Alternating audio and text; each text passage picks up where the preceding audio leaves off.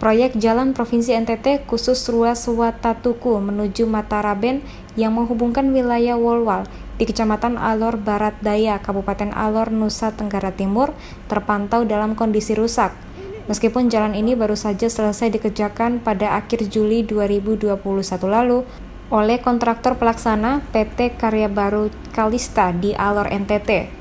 Kerusakan jalan ini mulai terlihat dari terangkatnya beberapa lapisan aspal dan terjadi retakan di bagian bibir jalan. Akibat dari kondisi ini membuat sejumlah masyarakat gerah dan menilai proyek ruas jalan Provinsi NTT dikerjakan hanya asal jadi. Kuat dugaan proyek jalan provinsi di Wolwal dikerjakan tidak sesuai aspek dalam dokumen pelelangan.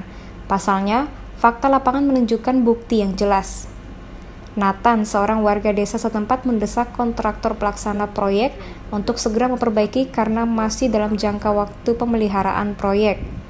Diketahui proyek ruas jalan yang dikerjakan PT Karya Baru Kalista ini dengan nilai kontrak sebesar 7 miliar 703 juta 681 rupiah yang bersumber dari APBD Provinsi NTT tahun anggaran 2020. Sementara itu, Direktur PT Karya Baru Kalista berusaha untuk dikonfirmasi untuk dimintai tanggapan terkait proyek tersebut, namun belum berhasil juga.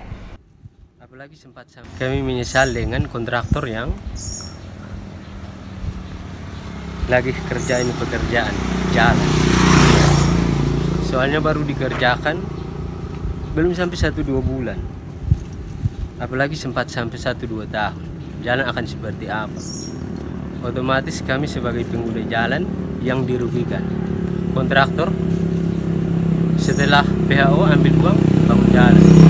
Kami ada Tuhan dan bukan kami punya hidup di jalan akan jadi apa? Ini yang kami sesalkan dengan pekerjaan pembuatan jalan aspal yang lagi ada. Dari Alor Nusa Tenggara Timur, Lidar Ismail melaporkan.